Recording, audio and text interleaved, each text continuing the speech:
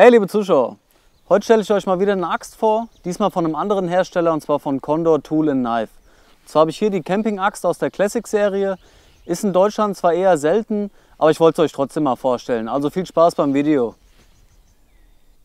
Die Axt wird in El Salvador hergestellt, ist 35,8 cm lang und wiegt zusammen mit der 52 Gramm schweren Lederscheide 875 Gramm. Die leicht gerundete Schneide ist 7,8 cm lang und besitzt einen sehr balligen Schliff. Dadurch wird das verkantende Material reduziert. Hier seht ihr den kleinen Bart der Axt am unteren Teil der Schneide. Auf der anderen Seite die kleine Schlagplatte, die sich gut für kleine Hammerarbeiten eignet. Außerdem ist sie abgerundet und eignet sich deswegen auch gut zum Häuten von Tieren. Für sicheren Halt ist der Stiel im Auge mit einem Holzkeil und Sicherungsring fixiert. Auf ausgeschmiedete Ohren am Kopf wurde bei dieser Axt verzichtet, was aber auch durch eine Kopfbreite von 5 cm nicht so schlimm ist. Der Kopf wiegt 600 Gramm und besteht aus einem 1060er Kohlenstoffstahl mit einer Härte von 45 bis 50 Rockwool, der nicht rostfrei ist. Da es sich um die Classic-Serie handelt, ist der Kopf bis auf die Schneide und Schlagplatte unbehandelt. Der urige Look gefällt mir allerdings bei der Konkurrenz etwas besser. Ausgeliefert kommt die Axt ohne Rasierschärfe, was aber nicht heißt, dass sie nicht scharf ist. Mit der Axt lassen sich kleinere Baumstämme gut durchtrennen. Die Schnitthaltigkeit ist mit dem etwas weicheren Stahl und dem balligen Schliff sehr ausgeglichen. Die Köpfe werden übrigens in El Salvador von Hand geschmiedet.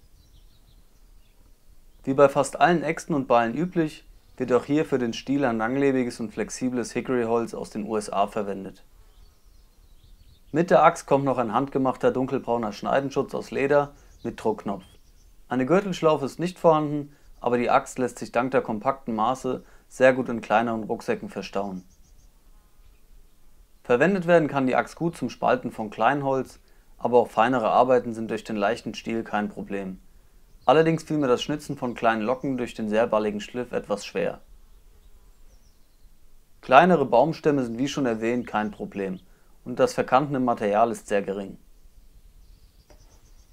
Auch die Handhabung der Axt ist komfortabel und durch die Verdickung vor dem Kopf am oberen Ende des Stiels sind auch feinere Arbeiten auf Dauer angenehm.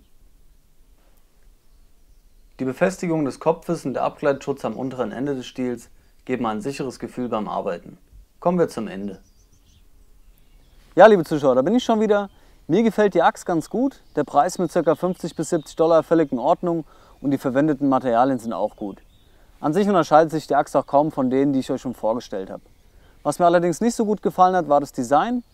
Meiner Meinung nach ein bisschen lieblos und durch die fehlenden Ohren wirkt die Axt ein bisschen langweilig. Mir persönlich fehlt noch die gewisse Note für ein Classic Design, aber das ist Geschmackssache. Ansonsten eine gute Axt zum guten Preis. Wer Interesse an der Marke hat, andere Modelle sind hier in Deutschland noch ein bisschen mehr vertreten. Links dazu unten in der Beschreibung. Ansonsten hoffe ich, dass euch das Video gefallen hat. Gebt mir ein Like, lasst einen Kommentar und abonniert mich. Bis zum nächsten Mal, euer Gearguide.